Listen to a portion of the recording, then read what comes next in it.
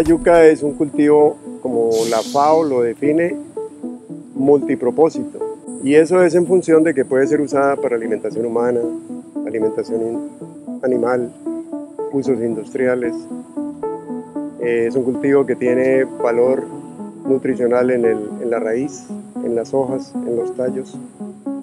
Es un cultivo que se usa para producir bioetanol, para producir bioplásticos, cosméticos, empaques. Un estudio del Instituto de Ambiente de Estocolmo, SEI, sobre la red de valor de la yuca en Colombia, identificó tres cadenas de valor con gran potencial para la bioeconomía. 1. Bioplástico y biomateriales, a partir del almidón de yuca amarga y sus residuos. 2. Bloques nutricionales para alimentación animal, a partir del residuo de almidón de yuca amarga y las hojas. 3. Alimentos libres de gluten, a partir de la harina de yuca dulce. El estudio de SEI ha sido insumo para el diseño de políticas públicas e inspirar el trabajo articulado entre actores en la región Caribe. Este estudio fue definitivo para nosotros, eh, tanto en las acciones como en la retroalimentación de lo que estábamos haciendo en ese momento. Eh, y esto es importante porque si bien estábamos teniendo acciones, estas estaban siendo un poco dispersas y era necesario empezar a tomarlo desde el círculo que es la cadena de valor. El estudio identificó un enorme potencial en los bioplásticos a partir del almidón de yuca para diversificar el negocio de la yuca amarga en la región y ayudar en la transición hacia materiales y mercados más sostenibles. En Colombia se están dando los primeros pasos para consolidar esta cadena de valor con la iniciativa de diferentes actores como Essentia y la Universidad del Cauca.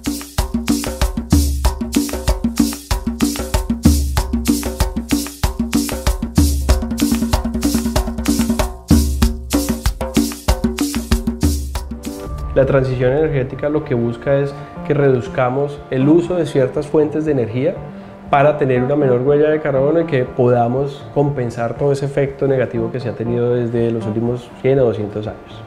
Pero dentro de esa parte también hay un pedazo extremadamente relevante que es la transición de materiales a nuevas fuentes de materiales. Es evidente que hay una situación problemática con el plástico, entonces hay que atacarla. Vamos a seguir necesitando plásticos, esto es una realidad no va a disminuir la necesidad, no va a disminuir la demanda de plásticos. De hecho, al contrario, la demanda para 2050 en general de todos los plásticos se va a duplicar.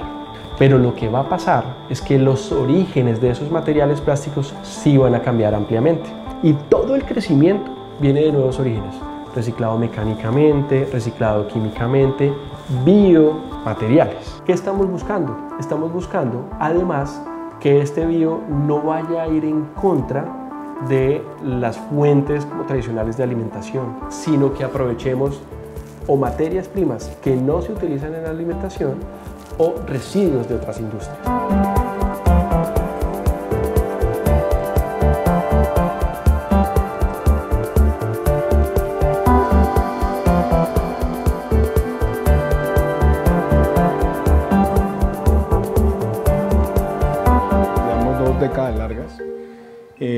Trabajando el tema de yuca, pero con una aplicación particular eh, en el desarrollo de bioplásticos, de materiales amigables con el medio ambiente, en películas flexibles, pero también en recipientes rígidos.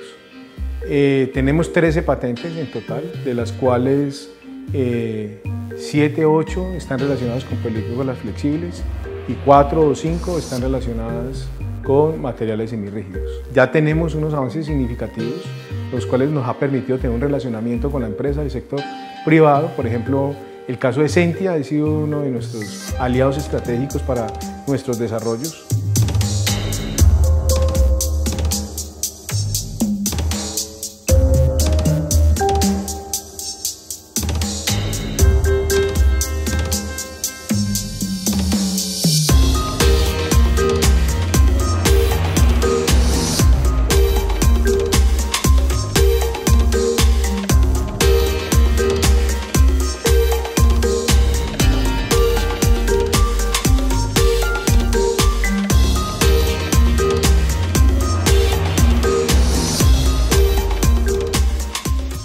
14 años eh, la empresa ha venido desarrollando todo el encadenamiento productivo de la yuca industrial en el Caribe colombiano. Los estudios de mercado que se han realizado en estos últimos años indican que el país está desabastecido de almidón nativo de yuca entre un 40 y 50%, porque la capacidad instalada que tenemos en el país es insuficiente para atender las necesidades nacionales, sin necesidad de entrar a hablar de lo internacional, que es un mercado mucho más amplio. La yuca es el quinto producto agrícola más importante en Colombia y se cultiva en los 32 departamentos del país. En 2021 se produjeron 2.3 millones de toneladas de yuca en 199 mil hectáreas, principalmente con producción de pequeña escala. El 90% de la producción es de variedades dulces para consumo humano. El 10% restante corresponde a la yuca amarga para fines industriales, con los mayores productores en Sucre, Córdoba y Cauca.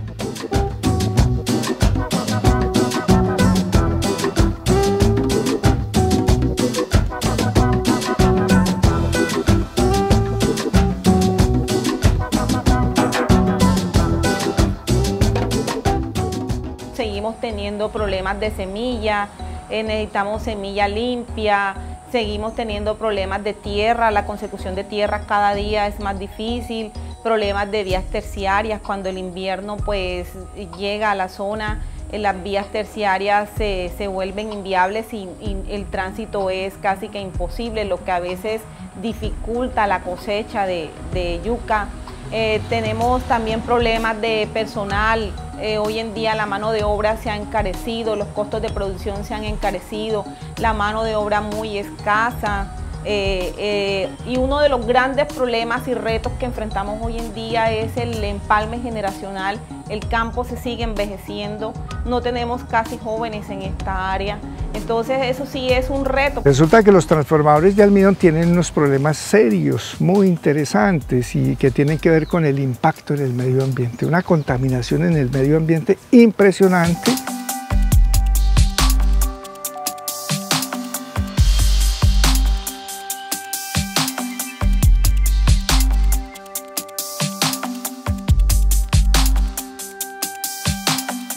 Teniendo en cuenta las oportunidades del mercado y las problemáticas de la cadena, es necesario implementar acciones concretas en diferentes ámbitos. La invitación es que desde el gobierno nacional y nuestros productores empiecen a sembrar yuca.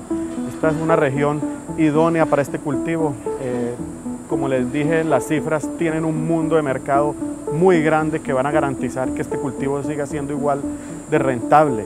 Y creo que las victorias tempranas se lograrían hoy más con la yuca industrial que con cualquier otro cultivo acá en el Caribe. ¿Por qué en el Caribe? Porque las variedades más eficientes para el cultivo y procesamiento y producción de almidón son variedades hechas para el, trópico seco colombiano. Todos los eslabones de la cadena de la yuca a impulsar al productor en conocimiento, en acompañamiento y a las industrias eh, de tal manera que nosotros podamos ser competitivos a nivel nacional e internacional.